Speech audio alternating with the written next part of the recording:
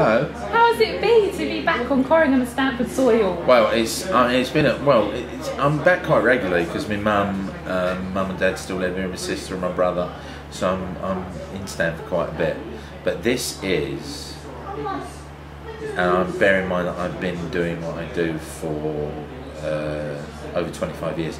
This is the first time I've ever gigged in Corringham.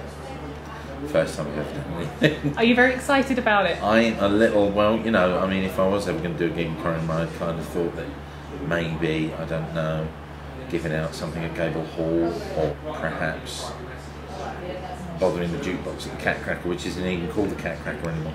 But no, to be, yes, to be here in Corringham, I, I am quite, quite happy to be here. And I was brought mum and dad just to keep me on the ground.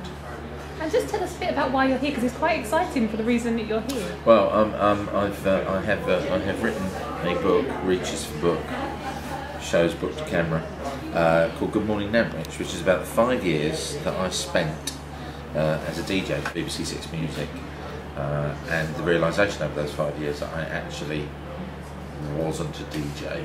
It's a very odd way to find out. That you're not good at something is by doing it. But I enjoyed it. That was the thing. That's why I did it for five years. Terrific fun, amazing thing to do. But DJing, it's very, very, particularly doing a show that's five days a week, it's very time intensive. And also, you know, quite rightly so, the people that engage you, uh, the broadcasters, whoever they may be, you know, they want you around a lot, especially when you're the breakfast DJ. And um, being a DJ meant that I had to stop doing loads and loads of other things that that were very much a part of my life, like stand-up comedy.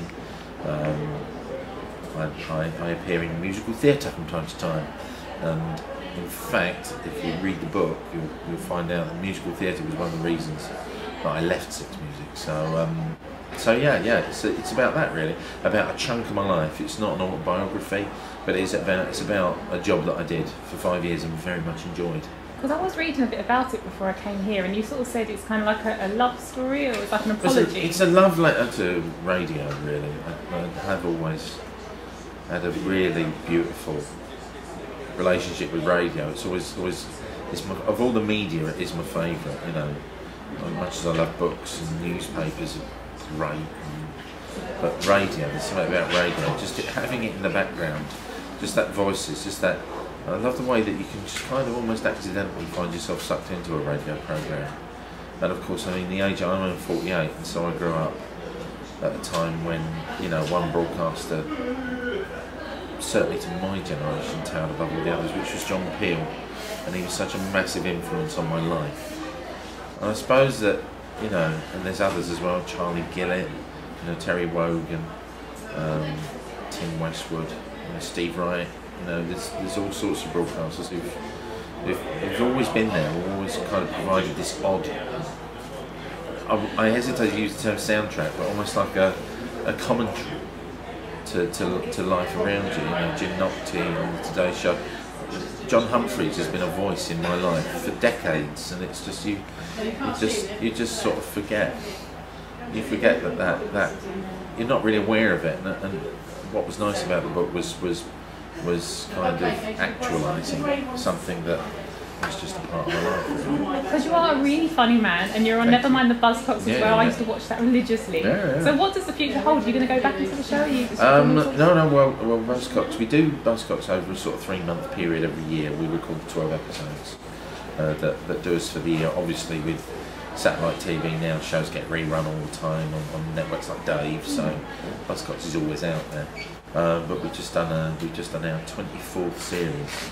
Uh, myself and Noel Fielding with the guest hosts. Can I ask who the best guest was? Uh, the best guest host is definitely Terry Wogan, from my point of view, but that's, and I, I, with no disrespect to the others that did an excellent job as well, but Terry Wogan's someone I've grown up with. I think when if you're, you know, the, the kind of broadcaster who Morecambe Wise used to take the neck out of them, I just he's a he's a real link to to why I got involved in the business really. So, so yeah, that's. Uh, and I'm seeing him again tomorrow. We're doing uh, we're doing a compilation show, some of the best cut bits. Uh, we're doing a compilation show, and I'm seeing Terry again tomorrow. So um, You're seeing Terry Wogan tomorrow, yeah, yeah, yeah.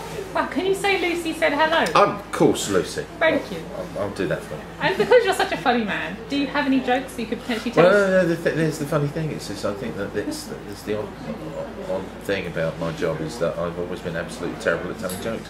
In terms of that kind of ability, I do have a joke that I can tell you, and you could rate it out of Excellent. ten for me. Good. Okay, Good. So, why was six afraid of seven?